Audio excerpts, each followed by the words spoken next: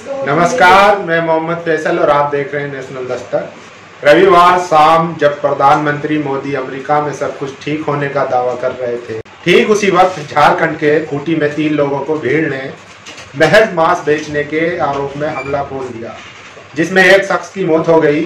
दरअसल बीजेपी शासित प्रदेश झारखंड में सब कुछ ठीक नहीं है। वो भी जब तबेक लिंचिंग का मामला, यानी कि तबरेज अंसारी का खत्म भी ना हुआ हो। भीड़ ने एक बार फिर गोकशी के नाम पर एक की जान ले ली। इसके बाद भी विदेश जाकर हमारे प्रधानमंत्री मोदी जी ये दावा करते हैं कि देश में सब कुछ ठीक है। ऐसे में सवाल उठता है कि लगातार उग्र होती भीड़ को आखिर रोकने का क्या इलाज है? क्या सिर्फ़ ऐसी घटना पर निंदा करने से काम चल जाएगा? एक बार मान भी लिया जाए कि वो प्रतिबंधित मांस ले जा रहे थे। ऐसे में क्या उसे पुलिस के हवाले नहीं किया जा सकता था? क्या किसी कानून तोड़ने वाले को सीधे फांसी का प्रावधान है? क्या भीड़ इस तरीके से ही अब लोगों से निपटेगी? ऐसे कई सवाल है जो झारखंड की इस लिंचिंग ने फिर ज़िंदा कर दिए।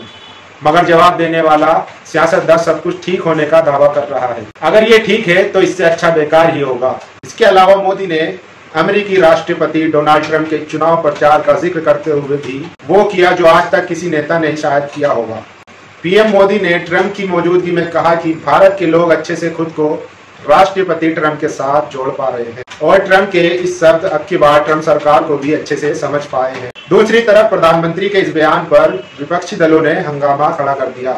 कांग्रेस के नेता आनंद शर्मा ने कहा कि आपने दूसरे देशों के चुनाव में दखल न देने के भारतीय विदेशी नीति के स्थापित सिद्धांत का उल्लंघन किया है। इसके अलावा राजस्थान के मुख्यमंत्री अशोक गहलोत ने पीएम मोदी से सवाल किया, सत्तर साल के इतिहास में पहली बार हुआ होगा कि देश के प्राइम मिनिस्टर किसी दूसरे देश में जाकर पार्टिकुलर कैंडिडेट के बारे में और उसकी पार्टी के बारे में खुल्लम खुल्ला कैंपेन करते नज़र आए। अब की बार ट्रंप सरकार, मैं समझता हूँ कि इसकी जितनी आलोचना की जाए, उतनी कम है।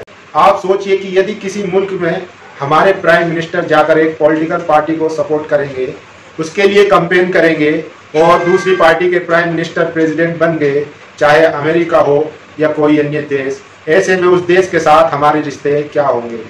इसके अलावा पी चिदम्बरम ने कहा, बेरोजगारी, कम वेतन, भीड़ हिंसा, कश्मीर में तालाबंदी, मौजूदा नौकरियों के खत्म होने और विपक्षी नेताओं को जेल में डालने के अलावा भारत में सब अच्छा है। उन्होंने ये बात ट्विटर के ज़रिए सोनिया गांधी और प्रधान, पूर्व प्रधानमंत्री मनमोहन सिंह से तिहाड़ जेल में मुलाकात के बाद कही।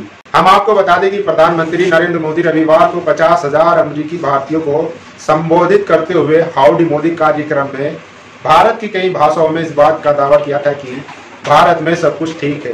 वहीं इस पे कई पत्रकारों ने अपनी प्रतिक्रिया दी है, जिनमें से एक जाकिर अली त्यागी अपने फेसबुक पर लिखते हैं कि मॉब लिंचिंग कर लोगों की जान लेने का सिलसिला जारी है। कल झारखंड में तीन लोगों को गो मास के शक में लिंच किया गया, जिसमें एक पीड़ित की मौत हो गई, बाकी दो अस्पताल में भर्ती है। एक जानवर को बचाने के लिए जानवर बन इंसान को मारने पर खुलकर उतारू हो गया है। मोदी जी हॉस्टन में ट्रंप के साथ चुनावी प्रचार में मंच साझा कर पाकिस्तान की खिल्ली उड़ा रहे हैं, जिसमें कह रहे हैं कि अपने देश को नहीं संभाल पाने वाले इमरान खान 377 को लेकर दिक्कत में हैं। लेकिन पीएम मोदी से पूछा जाए, क्या उन्होंने अपने देश में चल रही जहरीली हवाओं को रोकने की कोशिश की? क्या भारत की सड़कों को गड्ढों से मुक्ति दिलाई? हॉस्टल में मोदी को इसका भी उल्लेख करना चाहिए कि क्या महिलाओं के सम्मान में बीजेपी मैदान में आई या नहीं?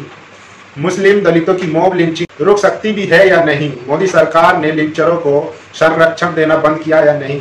कार्रवाई की या नहीं? बीजेपी नेताओं के ज़रिए हथियारों को हौसला अफजाई करना बंद हुआ या नहीं? पहले मोदी जी को हमारे भारत की एक तरफ़ खुद का और मित्र का ध्यान खींचना आवश्यक है। पहले मोदी जी को हमारे भारत की तरफ़ खुद का और अपने मित्र का ध्यान खींचना ज़रूरी है। हमारे देश में गरीबी, भुखमरी, चरम पर है। रोज़गार नहीं मिल रहा जिसके पास है। उससे छीना जा रहा है। दिन प्रतिदिन बंद होने वाली कंपनियों की तादाद बढ़ती जा रही है। नफरतें खतरे के निशान से करोड़ों फीट ऊपर है। आए दिन बेगुनाहों को लिंच किया जा रहा है। केंद्र सरकार को सुप्रीम कोर्ट की लिंचिंग पर भी कड़ा कानून बनाने के लिए दिए गए आदेश के बाद भी शर्म नहीं आ रही है। आप सोचिए कि ऐसे में हमारे प्रधानमंत्री का होस्टन जाकर 50 लाख लोगों को संबोधित करना और देश के बारे में ना सोचना कहाँ तक सही है। इस वीडियो में ये वीडियो आपको कैसी लगी? अपनी प्रतिक्रिया ज़रूर दें और मोदी के अमेरिका दौरे पर आपकी क्या राय है उस पर भी अपनी राय दें और हमारी वीडियो को लाइक ज़रूर करें, शेयर भी करें। नेशनल दस्तक को देखने वालों से अपील है कि वह नेशनल दस्तक के सपोर्टर फॉर्म को भरें ताकि हम सीधे आपसे जुड़ सकें।